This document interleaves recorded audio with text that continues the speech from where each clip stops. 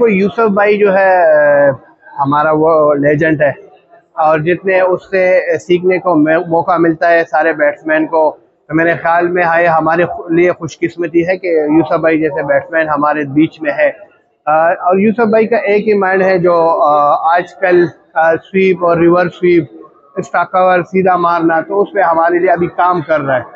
تو جس طرح اب ہم مڈل آرڈر میں ہمارا تھوڑا اسٹرائک ریٹ کا مسئلہ ہے اور یہ ساری دنیا کو پتا ہے، تو اس چیز کے لیے ہم نے یہی ایک سلوشن نکالا ہے مینجمنٹ نے کہ ہم جو ہے اس میں نا تھوڑا سویپ مارے ریورس سویپ مارے اسٹاکر میں گیپوں میں مارے تاکہ ہمارا اسٹرائک ریٹ تھوڑا اوپر جائے۔ تو اس پہ ہم کام کر رہے ہیں۔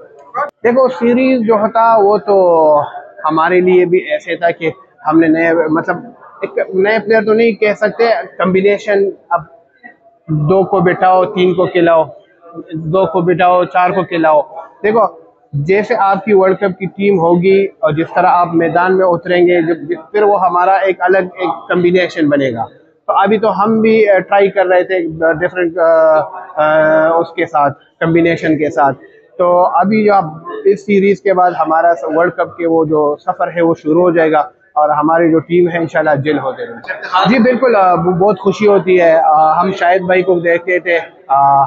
جب بائر بھی بیٹھے ہوتے تھے تو آتا تھا اور کروڑ بڑا انجوائے کرتے تھے۔ ہم کروڑ بڑا آوازیں لگاتے تھا اسی طرح جب میں آتا ہوں تو الحمدللہ یہ ہے کہ اب میں کرکٹ کو انجوائے کرتا ہوں۔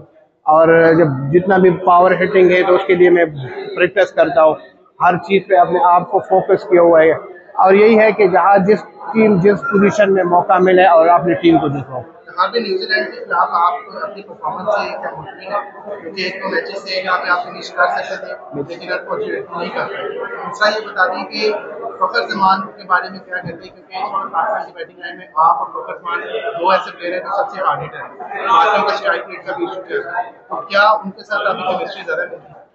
دیکھو اگر آپ نیوزی لینڈ کی سیریز کے بات کریں تو اس میں سے دو تین میچ میں مجھے چانس نہیں ملا ایک آدھے میں مجھے چانس ملا وہ مطلب ہو جاتا ہے۔ اور فخر زمان ہاں فخر زمان جو ہے اس نے ہمیشہ پاکستان کے لیے پروف کیا ہے۔ اور فخر زمان جس طرح کھیلتا ہے تو ہم دیکھو جب میں پر ابھی یہ کڑا بھی ہے مگر جب میں آتا ہوں اور یہ کڑا ہوتا ہے تو میں تھوڑا ریلیکس فیل کرتا ہوں۔ کہ چلو میں دوسرے اینڈ سے مجھے ٹینشن نہیں ہوگی۔ تو فخر زمان جو ہے انشاءاللہ ہم سے ہماری بڑی امیدیں ہے۔ انشاءاللہ ورلڈ کپ میں اچھا پرفارم کرے گا انشاءاللہ۔ ہم مل کے ہم مل کے پاکستان کو یہ ٹرافی لے کے آئیں انشاءاللہ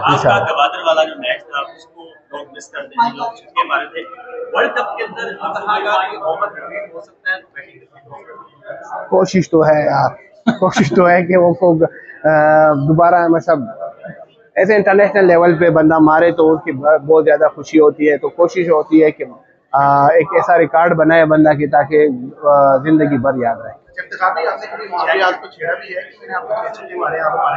ابھی کیسے چیڑ سکتے ہیں؟